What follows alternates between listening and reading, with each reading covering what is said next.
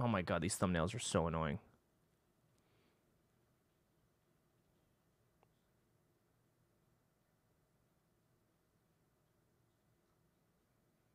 Ugh. Dude, I don't like being a streamer anymore. I fucking hate it.